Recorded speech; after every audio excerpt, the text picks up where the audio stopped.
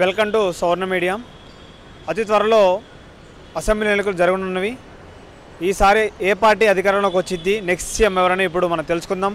మనం ఇప్పుడు Khairatabad metro station దగ్గర ఉన్నాం. ప్రజల అభిప్రాయం తెలుసుకుందాం ఇప్పుడు వెళ్ళి మనం. నమస్తే మేడం. నమస్తే అమ్మా. మీ పేరండి? వెంకటలక్ష్మి. ఓకే మేడం ఇప్పుడు మన తెలంగాణ ఎలక్షన్స్ వస్తున్నాయి కదా మేడం. ఈసారి మీరు ఎవరు ఓటేద్దాం అనుకుంటున్నారు? కేసీఆర్కి వేయాలనుకుంటున్నాం కానండి మాకు డబుల్ బెడ్రూమ్ ఇవ్వలేదు కేసీఆర్. మరి డబుల్ బెడ్రూమ్ రాలేదంటున్నారు కానీ కేసీఆర్కి ఎందుకు ఓటేస్తారండి? కాంగ్రెస్ ఉంది కదా బీజేపీ ఉంది కదా అంటే మళ్ళీ ఏమంటున్నారంటే వాళ్ళు కేసీఆర్ మళ్ళీ వచ్చినప్పుడు ఒక డబుల్ బెడ్రూమ్ ఇవ్వలేని వాళ్ళకి ఇస్తామని అంటున్నారు కాబట్టి మేము ఇస్తారా మేడం? పక్క మరి నమ్ముతున్నారా? నమ్ముతున్నామంటే అందరూ అంటున్నారు కాబట్టి నమ్మవలసి వస్తుంది. ఇస్తారు ఎవరు అనేది మనకు తెలియదు. నాకైతే రాలేదు. నాతో పాటు అప్లై చేసిన వాళ్ళకి అందరికీ వచ్చినాయండి.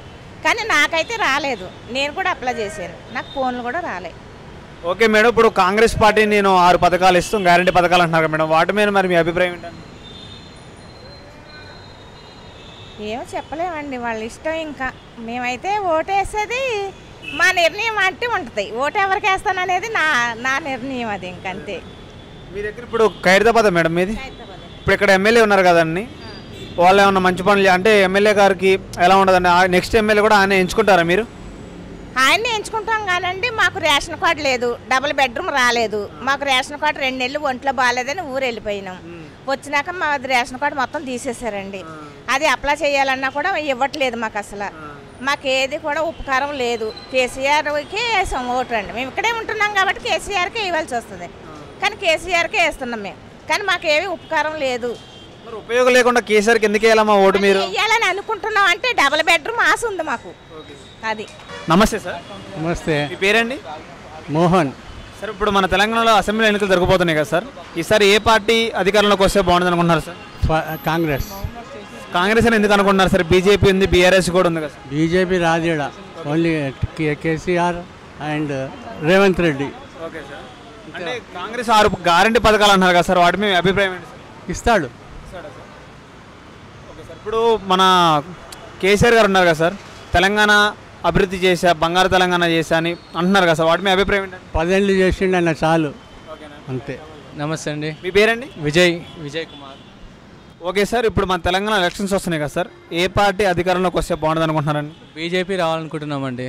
ఎందుకు సార్ బీజేపీని ఎందుకు అనుకుంటున్నారు? నాకు ప్రజెంట్ స్వాతంత్రం వచ్చిన తర్వాత నుంచి కాంగ్రెస్ గవర్నమెంట్ పాలన చూసినాము ఇప్పుడు రీసెంట్గా మన టీఆర్ఎస్ పాలన కూడా చూసినాము. ప్రజలందరూ విసిగిపోయిందండి టీఆర్ఎస్ పాలన నుంచి. కొత్త ప్రభుత్వం రావాలని కోరుకుంటున్నారు. ఆ కొత్త ప్రభుత్వం మీద కాంగ్రెస్ కూడా మనకు కాంగ్రెస్లో గతంలో గెలిచిన ఒక ఇరవై ముప్పై సీట్లను కూడా వాళ్ళు టీఆర్ఎస్లోకి జంప్ అదందరూ ప్రజలందరూ గమనించినారు. విఘ్నులైన ప్రజలు ఏం చేస్తారంటే ఇప్పుడు బీజేపీకి ఒక ఛాన్స్ ఇస్తే బాగుంటుంది.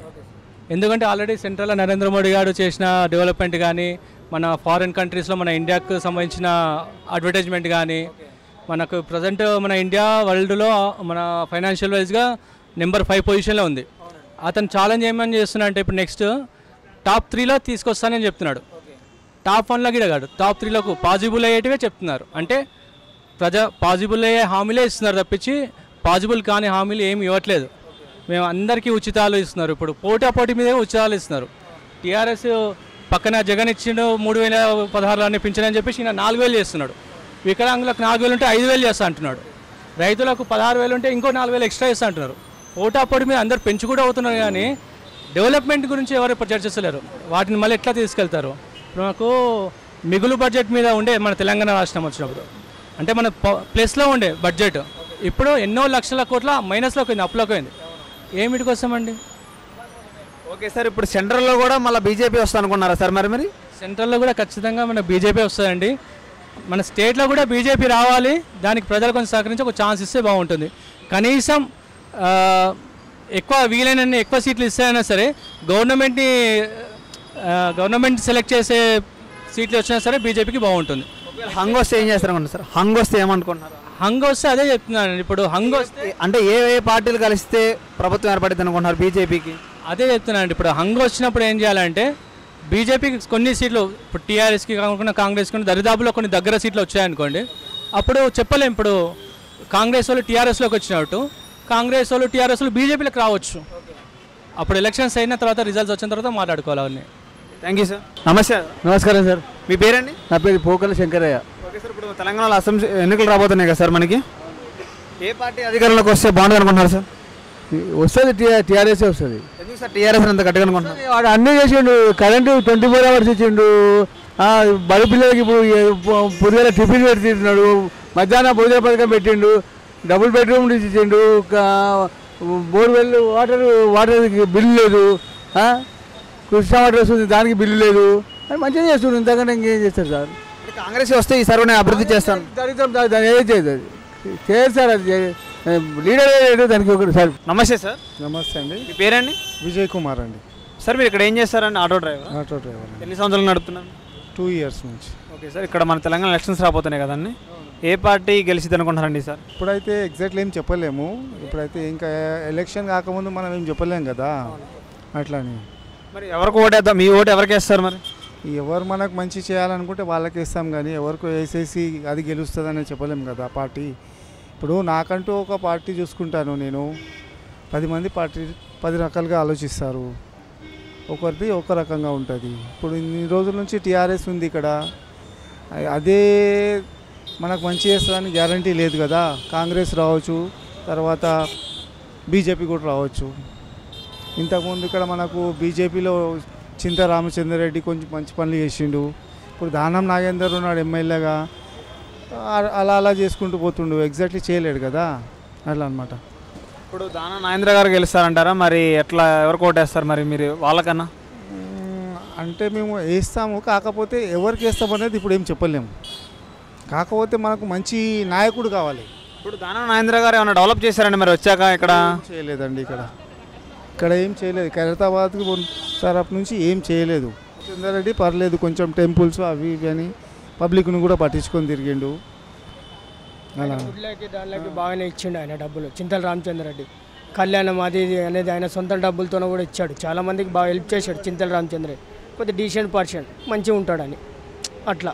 ఉమ్. ఓకే అన్న థ్యాంక్ యూ నమస్తే సార్. నమస్తే సార్. మీ పేరండి? నరసింహ. ఇక కొబ్బరి వ్యాపారం చేస్తారండి? అవునండి. మరి ఇప్పుడు మన తెలంగాణ ఎలక్షన్స్ వస్తున్నాయి కదా ఈసారి ఏ పార్టీ అధికారంలోకి వస్తే బాగుంటుంది అనుకుంటున్నారు బీఆర్ఎస్ వస్తే బాగుంటుంది. ఎందుకన్నా బీఆర్ఎస్ అని ఎందుకు అనుకుంటున్నారు మీరు? బీఆర్ఎస్ఆ ఎందుకంటే ఇప్పుడు ఉన్న ఇప్పుడు ఇన్ని సంవత్సరాలు అయితే తొమ్మిది సంవత్సరాల నుండి అయితే మంచిగానే ఉంది. అందరికి రైతులకు కానీ ఎవరికైనా కానీ మంచిగానే ఉంది. ఇప్పుడు మళ్ళీ వస్తే కూడా అదే బాగుంటుందని మా ఆలోచన. ఇప్పుడు కాంగ్రెస్ కూడా అక్కడ కర్ణాటకలో వచ్చింది కదా.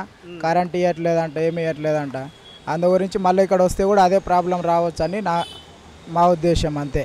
ఓకే ఇప్పుడు మన సీఎం కేసీఆర్ గారు పథకాలు పెట్టారు కదా డబుల్ బెడ్రూమ్స్ అని రైతు బంధు అని పింఛన్ అని పథకాలు మీకేమన్నా వస్తున్నాయి వాటిలో? మాకైతే మా మేమేం అప్లై చేయలేదు.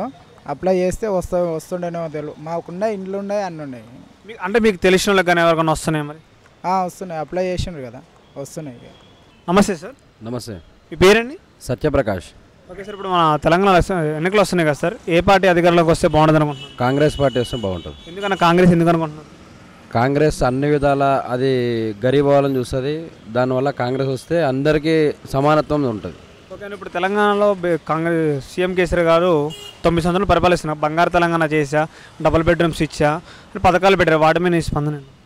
అవన్నీ ఒట్టిగా పేరు వరకే ఉన్నాయి కానీ ఏం అందుబాటులో ఏం లేవు అవన్నీ. మరి బీఆర్ బీజేపీ కూడా ఉంది కదన్న? బీజేపీ సెంటర్లో ఉంది ఇక్కడ వస్తే బాగుంటుంది అంటున్నారు మీ దాని మీద బీజేపీ అయితే తెలంగాణలో రాదు. ఎందుకన్నా బీజేపీ ఎందుకు రాదు అంటున్నారు బీజేపీలో గ్రౌండ్ వర్క్ లేదు. ఇప్పుడు సెంటర్లో కూడా నెక్స్ట్ ఏది వస్తుంది అనుకుంటున్నారు మరి? సెంట్రల్లో అయితే బీజేపీ వస్తుండొచ్చు. కాంగ్రెస్ రాదన్న మరి సెంటర్లో? చెప్పలేమైతే ఇప్పటివరకు అయితే ఇప్పటివరకు అయితే బీజేపీ ఉంది. మరి అప్పటి వరకు రెండు వేల ఇరవై నాలుగు ఎన్నికల వరకు చెప్పలేము అప్పటి వరకు